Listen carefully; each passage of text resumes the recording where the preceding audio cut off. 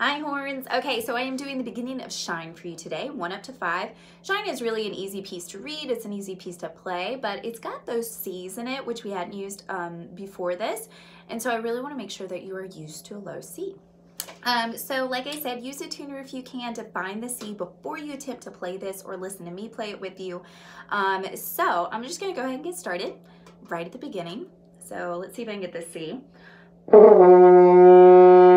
That should be it right there. So let's see how it goes. One, two, beginning.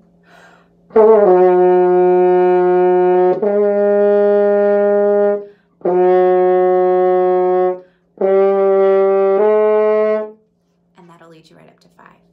Okay, so I want you guys to take your time. It is a series of mostly whole notes. Um, it does have a D and an E right before measure five, but you did those um, when you did Chisholm. You did them when you did um, Blue Sky Rock. So you should be getting pretty good at those now. And I hope this video helps you. All right, bye guys.